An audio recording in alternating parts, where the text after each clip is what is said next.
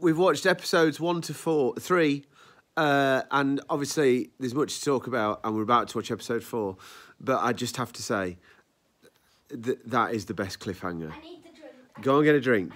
That is the best cliffhanger ever, ever, ever in Doctor Who. All right? We'll talk about everything else later. Goodbye.